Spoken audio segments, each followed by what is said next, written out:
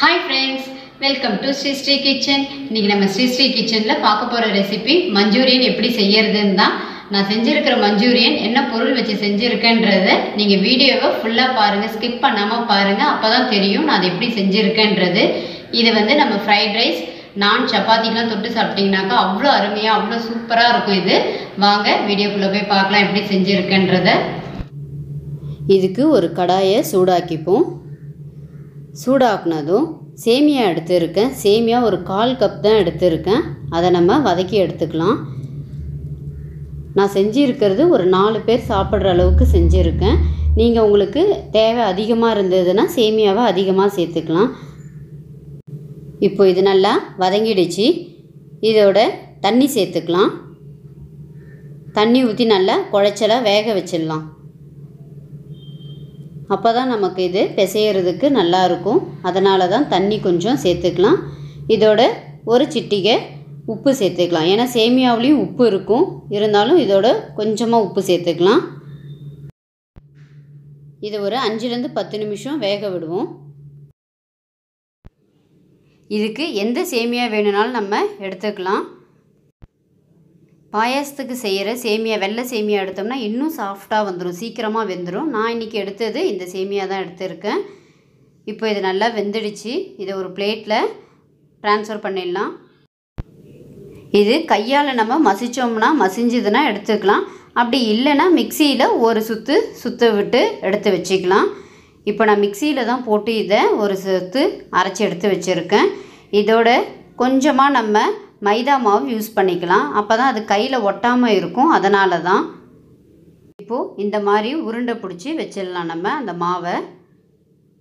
இதோட நம்ம bread crumbs நினச்சி எடுத்துக்கலாம். பிரெட் க்ரம்ஸ் இல்லாதவங்க இதே வறுத்த சேமியாவை மிக்சியில் கொஞ்சம் நல்லா பவுடராக ஆக்கி அதோட நம்ம நினச்சி எடுத்தோம்னாக்கா அதுவும் க்ரம்ஸ் தான் அது. நான் என்கிட்ட பிரெட் க்ரம்ஸ் இருந்ததுனால நான் அதை யூஸ் பண்ணுறேன் இல்லைனா நீங்கள் அதே சேமியாவே நீங்கள் வறுத்து அரைச்சி இந்த மாதிரி எடுத்துக்கலாம். இதை ரெடி பண்ணதும் நம்ம இதை பொரிக்கிறதுக்கு ஒரு கடாயை சூடாக்கிப்போம். சூடானதும் எண்ணெய் சேர்த்துக்கலாம். எண்ணெய் காஞ்சதும் நம்ம பிடிச்சி வச்சுருக்கிற உருண்டையை ஒன்று ஒன்றா போட்டு பொரிச்சிடலாம். ரெண்டு பக்கமும் நம்ம திருப்பி விட்டு நல்லா அது செவர்ற அளவுக்கு திருப்பி விட்டு பொரித்து ஒரு பிளேட்டில் எடுத்து வச்சிடலாம். இந்த அளவுக்கு நம்ம அது வேகணும். மீடியம் ஃப்ளேம்லேயே வச்சு வேக விட்டுருவோம். ஹையாக வச்சோம்னா தீஞ்சு போயிடும். இதை வந்து காய்கறி வச்சு செய்வாங்க. இல்லை சிக்கன் மட்டன் அந்த மாதிரி எதோ வச்சுலாம் செஞ்சுருக்காங்க. இந்த மாதிரி யாரும் செஞ்சுருக்க மாட்டாங்க. இதை நீங்கள் செஞ்சு பாருங்கள் அவ்வளோ சூப்பராக இருக்கும். வாங்க மஞ்சூரியனுக்கு தேவையான பொருட்கள் என்னன்றதை பார்க்கலாம். இதுக்கு ஒரு வெங்காயம் பெரிய வெங்காயம் பொடிசாக நான் கட் பண்ணி ஒரு கப்பில் வச்சுருக்கேன். ஒரு கேப்சிகம் பச்சை கலர் கேப்சிகம் எடுத்திருக்கேன். அதையும் நான் கட் பண்ணி வச்சுருக்கேன். ஒரு டேபிள் ஸ்பூன் இஞ்சி பூண்டு வச்சுருக்கேன். நமக்கு தேவைன்னாக்கா கார்ன்ஃப்ளவர் யூஸ் பண்ணிக்கலாம். நான் இன்றைக்கி செமி கிரேவியாக செய்ய போகிறேன்றதுனால கார்ன்ஃப்ளவர் நான் எடுத்து வச்சுருக்கேன். ஒரு பேன் வச்சுருக்கேன். ஹீட் ஆனதும் எண்ணெய் ஊற்றிக்கலாம் ரெண்டு டேபிள் ஸ்பூன் எண்ணெய் போதும்.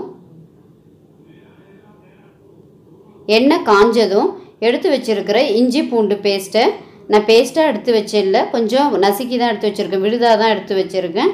நீங்கள் பேஸ்ட்டாக வேணும்னாலும் சேர்த்துக்கலாம். இஞ்சி பூண்டு போட்டிருக்கேன். அதோட கட் பண்ணி வச்சுருக்கிற வெங்காயத்தையும் சேர்த்துட்டேன். கேப்சிகமையும் சேர்த்துடலாம். சேர்த்து விட்டுட்டு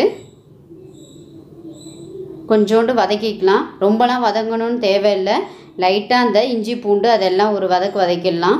ஒரு நிமிஷம் போல் வதக்கிட்டு இப்போது க்ரீன் சில்லி சாஸ் தான் நான் போட்டிருக்கேன். நான் ரெட் சில்லி சாஸ் யூஸ் பண்ணலை. க்ரீன் சில்லி சாஸ் தான் யூஸ் பண்ணியிருக்கேன். ஒரு ஸ்பூன் போட்டிருக்கேன்.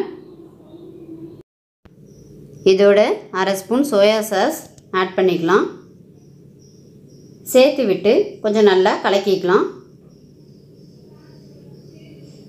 கலந்ததும் ஒரு ஸ்பூன் டொமேட்டோ கெச்சப் இதோட ஆட் பண்ணிடலாம். ஒரு ரெண்டு நிமிஷம் போதும் அது வதங்கிறதுக்கு. தேவையான அளவுக்கு உப்பு சேர்த்துடலாம். ஏன்னா சாஸ்லேயும் உப்பு இருக்கும். அதனால் கொஞ்சமாகவே நம்ம சேர்த்துக்கலாம். பத்தலைனாலும் நம்ம அப்புறம் போட்டுக்கலாமே தவிர நிறைய போட்டுற வேண்டாம். கொஞ்சமாகவே யூஸ் பண்ணிக்கலாம். ஒரு டேபிள் ஸ்பூன் போல் பெப்பர் ஆட் பண்ணிக்கலாம். ஆட் பண்ணிவிட்டு நல்லா கலந்து விட்டுடலாம். நம்ம மஞ்சூரியன் வந்து செமி கிரேவியாக செய்ய போகிறோம் அதனால் அது வதங்கினதும் கார்ன்ஃப்ளவர் மிக்ஸை நம்ம இதோட ஆட் பண்ணி விட்டுடலாம். கார்ன்ஃப்ளவர் மிக்ஸ் வேறு எதுவும் இல்லைங்க. ஒரே ஒரு டேபிள் ஸ்பூன் கார்ன்ஃப்ளவர் எடுத்திருக்கேன். அதில் அரை கப் தண்ணி கலந்து இதோட ஊற்றியிருக்கேன் அவ்வளோதான் அது. ஏன்னா நம்ம செமி கிரேவியாக நம்ம சாப்பிட்றதுக்கு நல்லாயிருக்கும். அதனால தான் நான் கார்ன்ஃப்ளவர் யூஸ் பண்ணியிருக்கேன். இல்லைனாலும் நீங்கள் அப்படியே நம்ம அந்த மஞ்சூரியனை போட்டு நம்ம சாப்பிட்டோம்னாலும் ஓகே தான். ரொம்ப திக்காக இருக்க மாதிரி இருந்ததுன்னா லைட்டாக நீங்கள் தண்ணி ஆட் பண்ணிக்கலாம். நமக்கு இந்த பதத்துக்கு வரும்போது நம்ம பொறிச்சு எடுத்து வச்சுருக்கிற அந்த சேமியா உருண்டையை எடுத்து இதில் கலந்துக்கலாம். ஏன்னா அந்த கொஞ்சம் தண்ணியாக இருக்கும்போதே அதை போட்டோம்னா தான் நமக்கு அந்த காரம் அந்த சோயா சாஸ் அந்த இதெல்லாம் போட்டிருக்கோம்ல சாஸுடைய டேஸ்ட் எல்லாம் அதில் இறங்கி இருக்கும் அவ்வளோதான் இது. ஒரு ரெண்டு நிமிஷம் போல் இது கொஞ்சம் கொதி வரட்டும் கொதிக்கட்டும். இப்போ இது மஞ்சூரியன் ரெடி ஆகிடுச்சு இதோட ஸ்ப்ரிங் ஆனியன் இருந்ததுன்னா நீங்கள் யூஸ் பண்ணிக்கலாம். நான் இன்றைக்கி யூஸ் பண்ணலை. அவ்வளோதான் கமகமன் வாசனையான மஞ்சூரியன் ரெடி ஆயிடுச்சு. இந்த மஞ்சூரியனை ஃப்ரைட் ரைஸ் நான் சப்பாத்தி இதுக்கு இந்த மாதிரியான ரெசிபியோடு நீங்கள் சைட் டிஷ்ஷாக வச்சு சாப்பிட்டிங்கனாக்கா அவ்வளோ அருமையாக இருக்கும். நீங்களும் இதை செஞ்சு பாருங்கள் நான் செஞ்ச ரெசிபி உங்களுக்கு பிடிச்சிருந்ததுன்னா ஸ்ரீ ஸ்ரீ கிச்சனுக்கு சப்ஸ்கிரைப் பண்ணுங்கள் மறக்காமல் உங்கள் ஃப்ரெண்ட்ஸ் ரிலேட்டிவ்ஸ் எல்லார்ட்டையும் சொல்லி ஷேர் பண்ண சொல்லுங்கள் சப்ஸ்கிரைப் பண்ண சொல்லுங்கள் இவ்வளோ நேரம் என்னுடைய வீடியோவை நீங்கள் ஸ்கிப் பண்ணாமல் ஃபுல்லாக பார்த்ததுக்கு ரொம்ப தேங்க்ஸ் மீண்டும் சந்திக்கலாம். அடுத்த ரெசிபியுடன் தேங்க்யூ